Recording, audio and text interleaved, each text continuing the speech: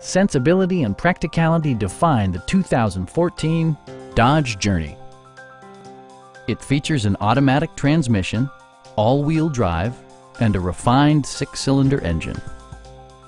Dodge prioritized fit and finish as evidenced by adjustable headrests in all seating positions, an automatic dimming rear view mirror, heated seats, automatic temperature control, power door mirrors and heated door mirrors, and leather upholstery. Enjoy your favorite music via the stereo system, which includes a CD player with MP3 capability, steering wheel mounted audio controls, and seven speakers, enhancing the audio experience throughout the interior.